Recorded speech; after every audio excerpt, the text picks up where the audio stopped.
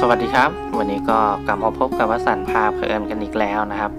วันนี้ก็ออกลุยงานกันต่อตั้งแต่เช้าเลยนะครับ ช่วงนี้ก็ช่วงกลางเดือนนะครับ ก็มีงานก็เหมือนช่างไม้ครับเรื่อยๆนะครับสำหรับกลางเดือนไม่เหมือนกับต้นเดือนกับปลายเดือน งานวันนี้ของเราก็จะอยู่ที่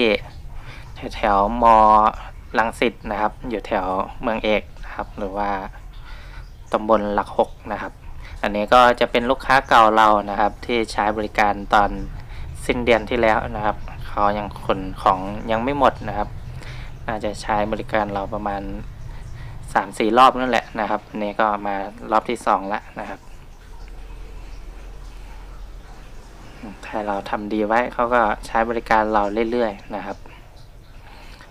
แบบรอบสองเราก็อาจจะลดราคาให้เขาบ้างอะไรอย่างเงี้ยนะครับ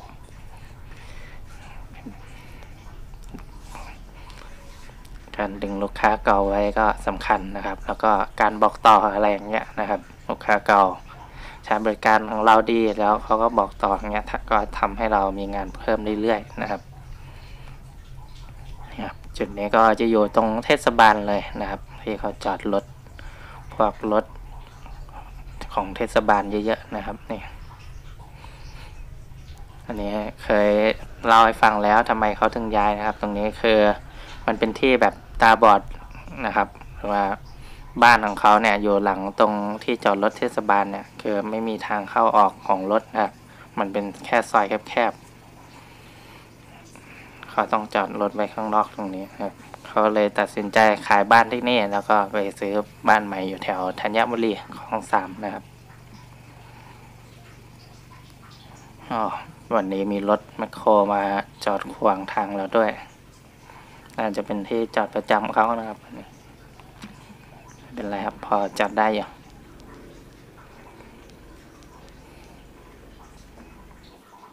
เนี่ยครับทางแคบๆนี้เลยนะครับ ไม่มีทางเข้าออกมีแค่นี้ น่าจะเป็นแบบที่ข้างหน้านี่ก็น่าจะเป็นแบบญาติกันอะไรเงี้ยเขาขายทิ้งไปให้เทศบาล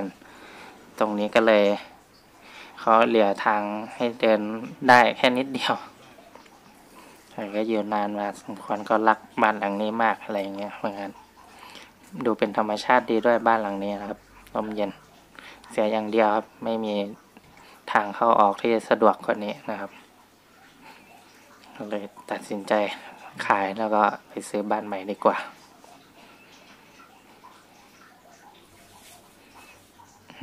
วันนี้ก็น่าจะเต็มรถนะครับ เป็นพวกของใช้อะไรเก็บใส่ ไว้เรียบร้อยครับแพ็คใหญ่สุดก็เป็นตู้เย็นนะครับสำหรับรอบนี้นะครับ อาจจะใช้บริการอีกช่วงปลายเดือนอีกนะครับ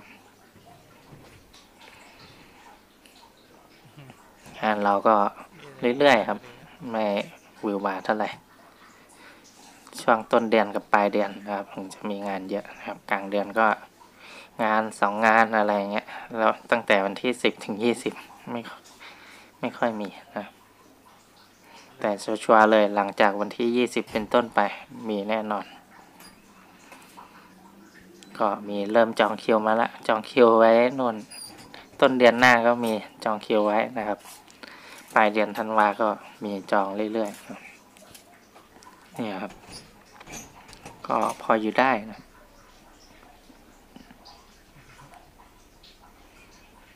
ถ้าผ่อนรถหมดนี่ก็สบายครับ ไม่มีข้างวัดรถแล้ วก็วิ่งเชี่ยว ไม่ต้องดิ้นรนอะไรกันเยอะนะครับ ขึ้นของเสร็จเรียบร้อยนี่นัดไว้เก้าโมงนะครับเรามาถึงกันตั้งแต่แปดโมงครึ่งเลยแปดโมงครึ่งแล้วก็ขึ้นของก่อนเลยนะครับ เพราะว่าทางบ้านเขาทางบ้านลูกค้าเขาเตรียมพร้อมไว้อยู่แล้วนะครับ ก็ทำให้เราเสร็จงานไวขึ้นนะ วันนี้วันอาทิตย์ด้วยมันจะเสร็จงานก็จะไปท่องไปเที่ยวเลย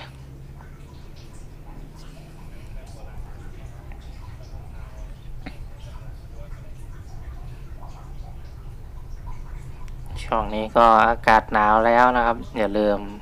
ดูแลสุขภาพกันด้วยนะครับ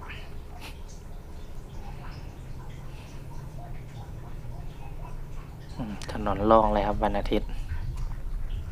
แต่ทางโซนที่ไปอยุธยาเนี่ยรถติดหนักนะครับขาออกขาไปทางอายุทยา เรามาถึงแล้วหมู่บ้านอะไรเนี่ยคลองสามธัญบุรีจำชื่อไม่ได้ทะนะนันอะไรสักอย่าง ชื่อยาวๆปึ๊บนะลูกค้าจอดรออยู่ กว่าเราไปไม่ถูก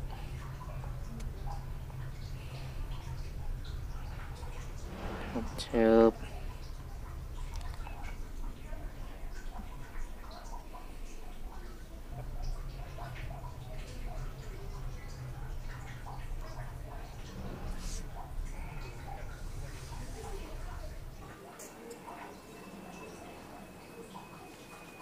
ถือว่างานง่ายครับวันนี้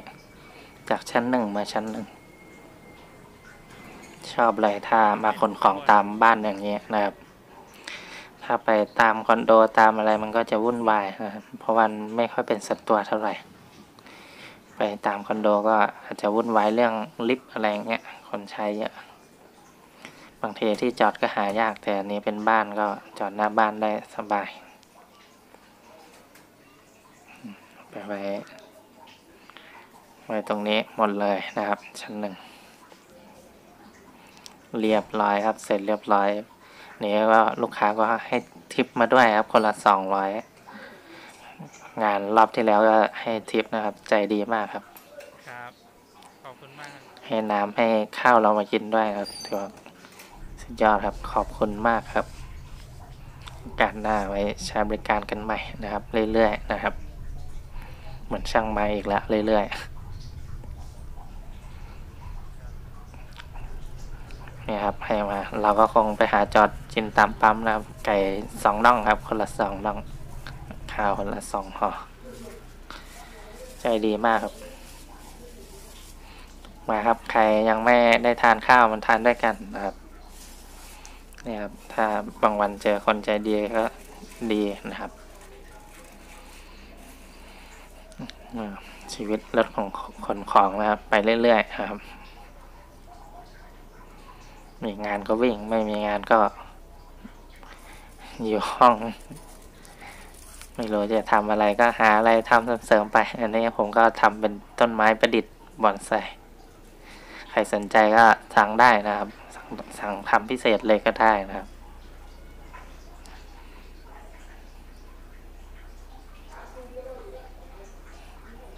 อร่อยครับ เนี่ยแกไปซื้อที่ตลาดมาให้ตั้งแต่เช้าแล้วว่างั้น กว่าเหิวกันเวลายกของว่างั้น ใจดีจริง ๆ นะครับ ต้องขอขอบคุณลูกค้าด้วยนะครับสำหรับวันนี้ก็คงจบไว้เพียงเท่านี้นะครับ ใครชอบก็ฝากกดติดตามกดไลค์กด Subscribe ผมกันด้วยนะครับ และอย่าลืมคอมเมนต์เป็นกำลังใจให้ผมกันด้วยนะครับ ขอบคุณครับ